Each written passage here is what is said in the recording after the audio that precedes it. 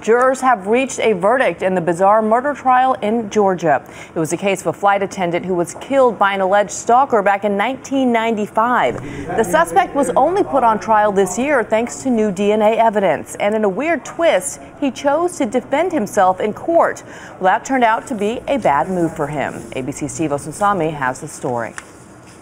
After a 17 year murder mystery and then a bizarre trial with Waseem Daker, an ex con, acting as his own attorney and frightening victims on the witness stand. We, the jury, found the defendant Waseem Daker guilty as to count two felony murder. Jurors moved quickly, closing this cold case in three short hours, finding Daker guilty of strangling flight attendant Karmen Smith in 1995 as an act of revenge against her housemate Loretta Blatz who was then working with authorities to send him to jail for stalking her. It's a great day for Karmen Smith and her family, and um, we're thrilled with the outcome of the case. Prosecutors called him a monster and an obsessed maniac who, after killing Smith, waited all day for her five year old son to come walking home from school, walking through these sliding glass doors.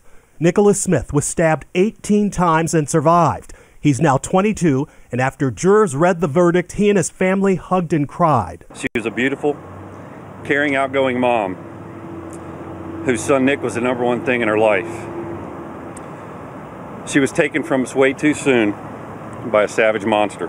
When he testified, Nicholas Smith broke down, telling jurors the killer was wearing a mask so he couldn't see his face. I could kind of see when they ran past the window in our room, but it was still really dark and they were wearing really dark clothes.